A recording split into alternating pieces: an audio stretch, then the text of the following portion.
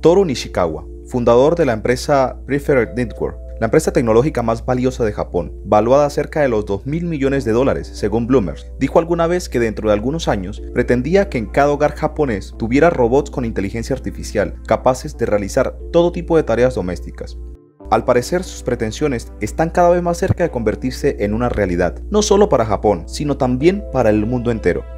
Y es que en Japón actualmente están de moda los asistentes del hogar, que tienen forma de robot femenina, alguno de apariencia más conocida como Astro Boy.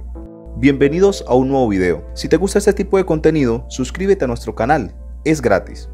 Hoy la presencia de robots en Japón de aspecto femenino es algo que sin duda se quiere llevar en plano más común y constante. Esto por una simple razón, y esa razón es que psicológicamente el humano promedio ha visto a lo largo de la historia cómo los robots de aspecto masculino hasta cierto punto han sido representados como los culpables de cobrar conciencia propia y volverse irremediablemente contra los humanos. Por ello en Japón han ido descartando la posibilidad de darle más responsabilidades y actividades a robots de aspecto masculino. Es por eso que ahora, desde los robots que le ayudan a las tareas del hogar hasta los que trabajan en grandes cadenas de montaje, tienen un aspecto, rasgos e incluso hasta voces y sonidos más inclinados hacia el lado femenino. Esto sin mencionar que en aquel lejano país la robótica está cada vez más presente en sus vidas. Y hablando de algunos aspectos particulares de la sociedad japonesa, es preciso decir que en aquel país hay ámbitos sociales en los cuales está muy mimetizadas la inteligencia artificial, con sus vidas diarias y por ende los robots de última generación son los que continúan teniendo éxito arrollador, como por ejemplo ahora mismo se encuentran dando un paso firme en el mundo del cine, en donde los robots son cada vez más necesarios para realizar tomas que hasta hace algunos años eran imposibles llevar a cabo. Es así como poco a poco la robótica ha comenzado a adueñarse de las escenas y ahora ha llegado el momento para que los robots comiencen a protagonizar películas, tal es el caso de Eric, un verdadero robot humanoide alimentado por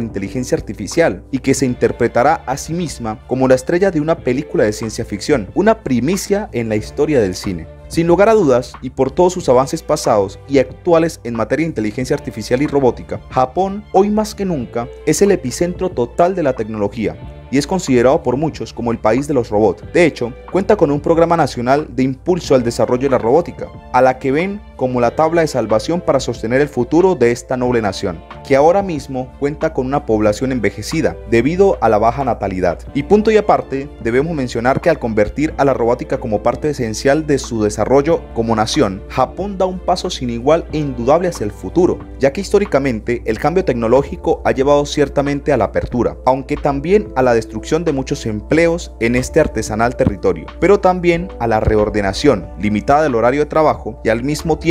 ha precipitado la creación de nuevas profesiones o el desarrollo de sectores económicos dentro del país que suelen cubrir una demanda de servicios previamente no satisfecha, como por ejemplo el de trabajo en servicios públicos y el de trabajo en el hogar. Pero también se ha podido cubrir con robots altamente desarrollados la demanda de personal especializado en áreas como el cuidado de las personas mayores, ya que Japón como antes se mencionó, es uno de los países que cuenta con algunos claros signos de envejecimiento dentro de su población, así como unas bajas en la tasa de fecundidad, unidos a una alta desigualdad de género, políticas de inmigración muy restrictivas y un importante desarrollo tecnológico. No obstante, no hay que perder de vista que el trabajo de cuidados a personas mayores tiene una dimensión humana que hasta ahora y en total plenitud los robots no pueden desarrollar todavía, y esto a su vez puede suponer un gran y satisfactorio nicho de trabajo en una economía cada vez más robotizada. Si bien en el presente la presencia de robots en el día a día nipón no es una novedad, Hace años que en algunos edificios de Tokio vemos rodar robots con varias cámaras y de estatura mediana,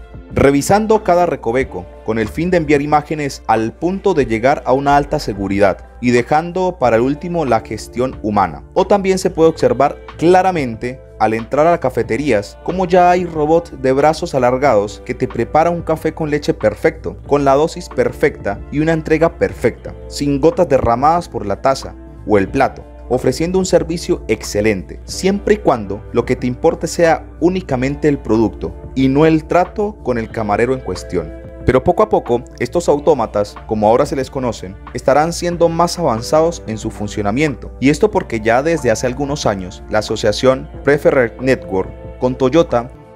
han llevado a que el enfoque de Japón en el despliegue de la inteligencia artificial y aprendizaje profundo vaya encaminado a resolver desafíos inmediatos. Según informes de este proyecto, se sabe que está diseñado para desarrollar robots de servicio que pueden ayudar a las personas en la vida cotidiana. Y es que desde hace algunos años las dos compañías colaboran en la investigación y el desarrollo utilizando el robot de apoyo humano de Toyota una plataforma que permite que los robots trabajen junto con las personas, que ofrecen atención básica y asistencia de apoyo en aplicaciones de enfermería y atención a largo plazo, equipados con un brazo, una pantalla, cámaras y base con ruedas, con lo que pueden recolectar y recuperar elementos automáticamente y proporcionar así capacidades de control remoto y comunicación. Pero la implementación estricta de robots femeninos para el hogar ha comenzado desde hace unos 6 años con la incursión de modelos femeninos en las cadenas de hoteles Jena, que abrió por primera vez un hotel con una plantilla que contaba entre sus filas con personal humano,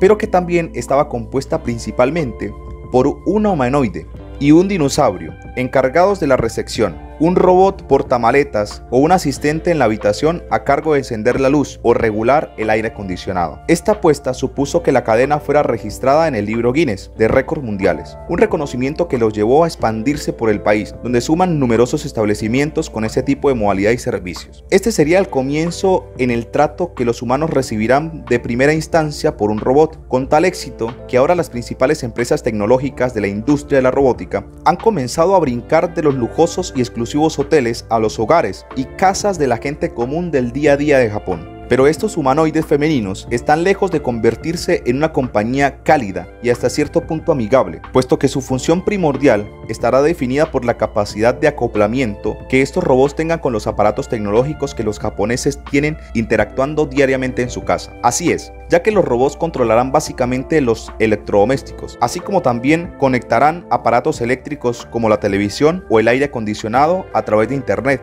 Y además, a través del reconocimiento de voz, dichos androides serán capaces de encenderlos, apagarlos y controlar los diversos aspectos de sus habitaciones. Pero esto sería una vez más solo el comienzo, ya que en el futuro próximo se espera que estos robots femeninos estén también interactuando con pequeños androides humanoides centrados básicamente en la comunicación, los cuales podrán trabajar de manera dependiente al poder hablar e identificar a los humanos, así como sus diferentes estados de ánimos durante el día, lo que les permitirá atenderlos mejor. Déjanos saber tu opinión, si el video te ha gustado, dale like